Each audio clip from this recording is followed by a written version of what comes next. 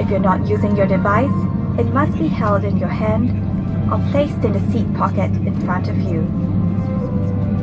If your device drops into the gap between the seats, refrain from adjusting the seat and ask the cabin crew for assistance.